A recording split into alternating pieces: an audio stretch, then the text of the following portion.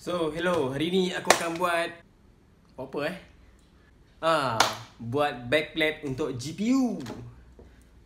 So, GPU ni dia nampak naked. So, aku tak suka tengok. Jadi aku nak buat cover atas ni. So, bahan dia senang je. Aku cuma gunakan stiker dan perspec. So, apa aku guna pas perspec? Mungkin nanti aku boleh pasang LED. Jadi, kalau guna perspec, dia load sinar kan. Jadi, dia boleh telus So dia nampak berwarna sikit lah. Stiker ni untuk uh, buat corak lah Buat corak nanti aku potong, potong, potong, potong, potong. Buat satu corak ke apa logo ke apa ke.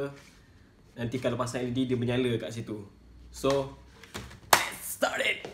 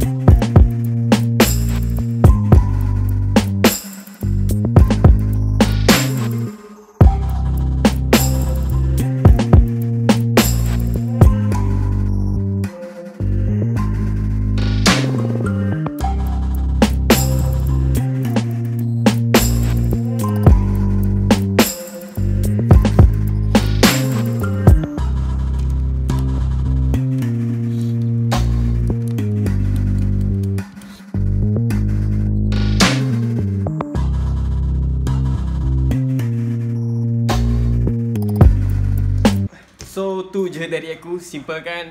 Nak DIY benda. So hari ni je dalam masa 2 jam. Eh sejam lah. Aku dah boleh buat Backplate untuk GPU Jimat cost Aku tak perlu beli. Kalau nak beli pun aku kena buang duit Dalam 100 lebih kot macam tu. Jadi Yang macam tadi tu korang ada tengok Ada, ada buih-buih sikit kat stiker tu ke? Tapi aku tak pandai dah nak Ratakan stiker tu. Jadi Kalau korang nak lagi senang Korang potong siap-siap stiker korang spray lah. Lepas tu buka balik. Uh, lagi steady, lagi steady tak ada buih kan.